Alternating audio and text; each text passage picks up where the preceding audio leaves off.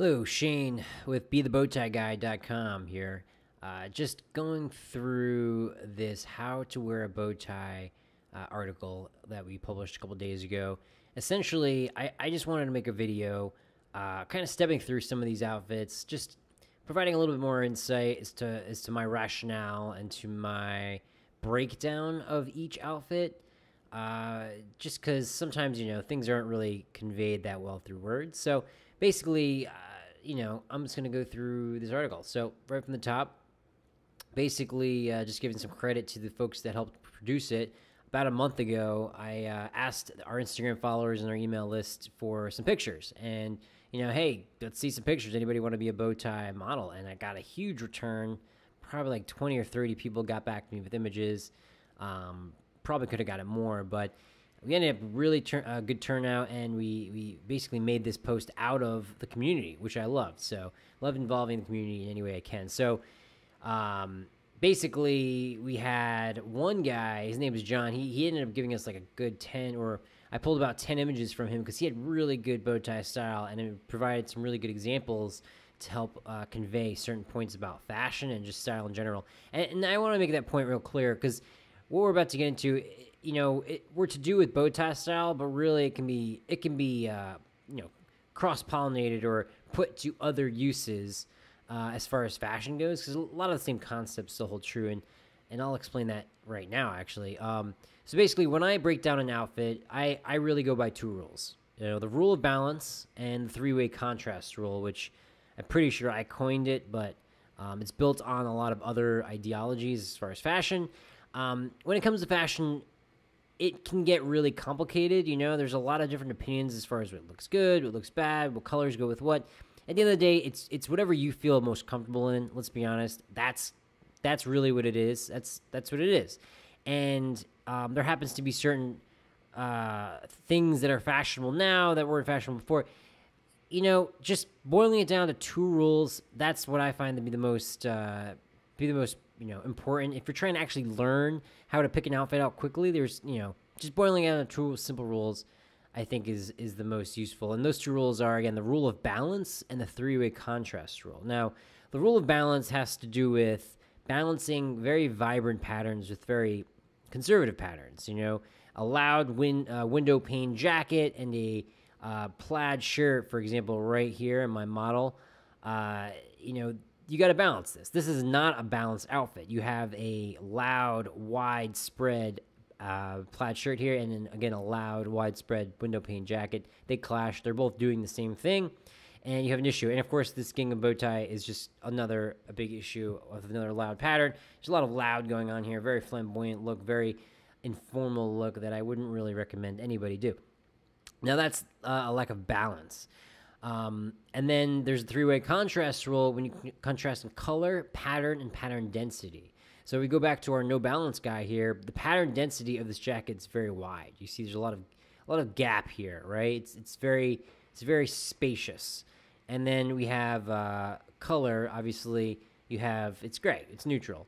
And then last thing is pattern. Just the pattern itself, and it's a window pane. So you want to contrast all three for the most optimal look. And again, the way I like to describe it is if you can get these both rules down, you're going to look pretty good about 99% of the time. You know, of course, there's going to be some one offs, um, but that's pretty much it. And then we have this example down here no contrast. Again, not to say this outfit looks bad because it's not even it's not really that bad of an outfit, but it doesn't have any contrast, you know, or very little contrast. Um, and I'll also mention when you're putting an outfit together, really you're putting an outfit together for the occasion. So whatever occasion you're going to, uh, that's the re that that's that should drive your decision as far as an outfit. If you're going to a party, really you should be putting together a more informal look. I mean, it's a party. You're gonna have a good time. You're gonna have a couple drinks to make a great time. Maybe you go from one of those loud, vibrant patterns. Whereas if it's uh, you know a networking event or you work at like the Pentagon or some government facility, you want to probably stick to more of a conservative, you know, charcoal suit, navy suit, white shirt type look. So that's, I mean, that's dressing for the occasion. Um, I'm going to keep scrolling down here just real fast. This is going to be the first part of a three part series. Uh, the first part has to do with suits, the second part's going to have to do with vests, and the third part's going to do with casual looks. So give you three different looks as far as putting together outfits, and all totaled, it'll be 99 outfits. So, jumping right into the first outfit here, uh, it's going to be Mr. Mr. John from Bull and Blossom. Again, this guy has really great bow tie style through and through. Um, you know, in this particular outfit, he's wearing a, a solid yellow, almost mustard coat, which is which is really great. You can it's a very conservative pattern. The color isn't so conservative, but the pattern is. Now, if we're going back to our rules, the, the rule of balance, I'll stick with that one for the moment. He balances this very conservative jacket with with a more not so conservative shirt, right? This this gingham shirt here has a, a very bold pattern. I would even consider it, you know, one of the most bold patterns that you could wear for sure. So he, he balances it very nicely by adding a solid jacket. Uh, again, he also has a bow tie up here, and that's got a uh, looks like a micro dot polka dot diamond point bow tie, which I freaking love, and it looks great with the jacket. Now, if we're talking again balance, this is balanced, right? It's it's a wide, it's a very sp- spacious uh, pattern. It's not too flamboyant. You could almost you can't even oh, you can almost not even see the polka dots. That's almost it's almost basically a solid. It probably reads solid from a distance, and and it works. Uh, and that's balanced. You know, everything's balanced. You got this flamboyant shirt and you got a solid color jacket. It's balanced. Had the jacket been white, like a window pane, or maybe like a check, or maybe like you know uh, a tweed, like a herringbone, it may be a little too loud. You know, and then you're gonna you're gonna be more on that informal side of the fence. Now, when I say balance, think of it like a spectrum too, right? Like there's two sides of the spectrum. There's like informal and conservative.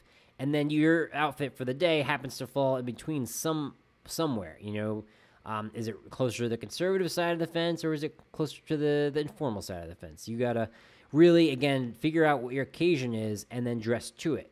Again, if you're going to work at a very conservative environment, you're going to want to wear a conservative outfit charcoal gray, navy, uh, you know, black maybe. I don't know. I don't like black as a color personally. Just it seems too boring and a little lazy, honestly, in my opinion. But you know, if it's a more informal environment, party, yellow works. I think this is a great outfit for a party.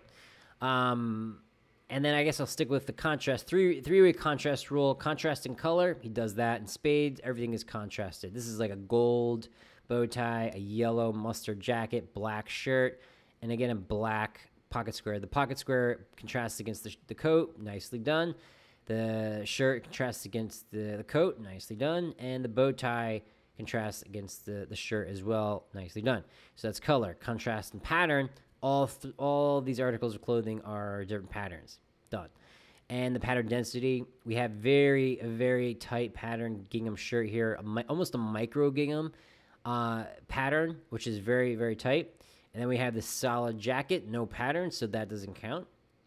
If we go to the bow tie, we have a very spacious pattern micro dot, which contrasts nicely against the, uh, the the gingham there. And again, also they both contrast nicely against the the jacket. So the pattern density is there, and, and this overall is a great looking outfit. And um, that's that's pretty much it for John. I'm not gonna go through too many of these just because I'm not gonna make this a super long video. Maybe one or two.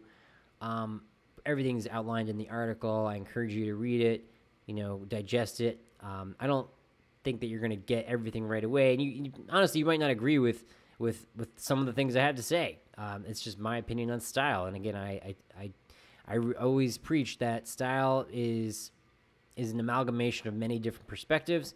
You know, you you listen to my opinion, you, you read on the internet, you get a different opinion, and you kind of combine them to create your own opinion about fashion. So that's that's what I think about that. So let's see. I want to do one real quick. I like this from Karan. I'm gonna scroll down, scrolling. One one I want to look at right now is from Barnett Holston. He's a really cool guy. He lives out in DC near me. Uh, and in this outfit, he is rocking it right now. And I want to really highlight the green floral pants. Um, mainly because nobody really wears floral pants. I've never seen anybody except Barnett wear floral pants, and I think it's awesome. Mainly because nobody does it. And I would say, you know, through and through, this is definitely an informal look. If we're going back to that spectrum, definitely on the informal side, but it is balanced. Uh, if you'll notice, the jacket is a solid, and the pants are a vibrant pattern, green, very out there, right? Um, this is definitely a balanced look because of the jacket. If the jacket was more of a pattern jacket, like say the window pane or the checked, or you know, if we're scrolling around here, um, what's a good example? Like say say he's wearing this checked jacket right here on our on Barnett. That's a pretty much I would say an unbalanced look. A color aside, you know, the solid it just balances. Again, it's the floral pattern. You really don't want it to go in one direction too much. So that's there. Um, if we're thinking three-way contrast rule here, this, the jacket has no pattern, uh, the shirt has no pattern, and then the bow tie has a plaid, and then the, the pants have a floral, obviously. So uh, essentially, the patterns all contrast. I automatically solids will contrast as far as patterns. They almost don't even count in my book as a pattern. It's just kind of like a like a like a neutral. Um, in this case, the pattern contrasts obviously with the solid jacket and solid uh, collar, and the pants contrast with the jacket and the shirt.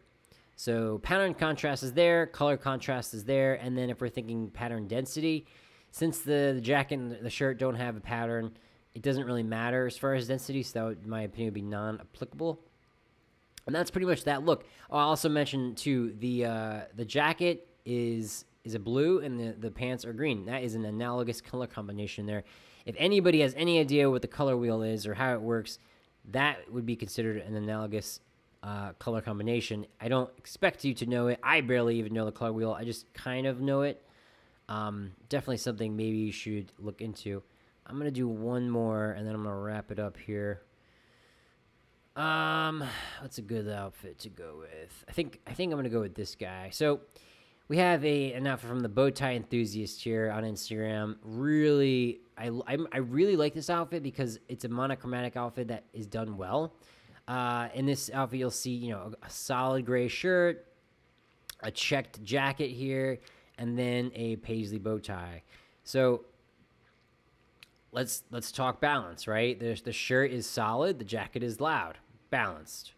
Um, you know, three way contrast rule. Colors, the colors don't really. Oh, I'll, I'll, throw the colors in. The colors are all contrasting. You know, you have different uh, shades and, and, and tonal uh, and tones of of gray. You have a light gray shirt, a darker gray jacket, a really dark bow tie. They all contrast.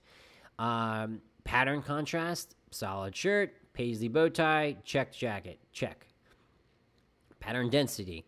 Uh, the shirt doesn't have a pattern, so that's non-applicable. Very, very tight checked uh, jacket, and then kind of a normal paisley. So I would say those those contrast as well. So again, this is a really good example of a monochromatic outfit, wearing the same color but different shades and he, uh, tones.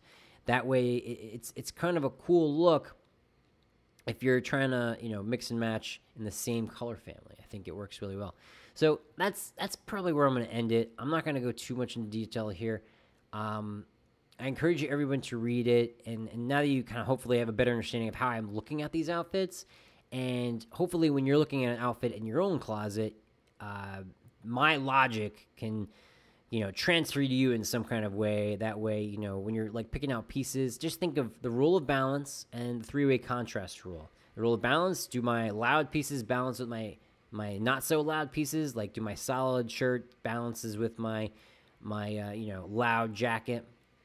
And then uh, three way contrast rule: do my patterns all contrast? Do my the pattern the densities of my patterns contrast? And then do my uh, colors contrast? You know. And that's pretty much it, guys. Uh, if you enjoyed this article, please share it. Uh, you know, subscribe on YouTube. And uh, yeah, again, if you like it, shoot me shoot me a comment down below and let me know what else you want me to uh, to do for for bow tie style. Again, it's all about the bow tie here, and uh, and that's it. Enjoy the rest of your day, guys.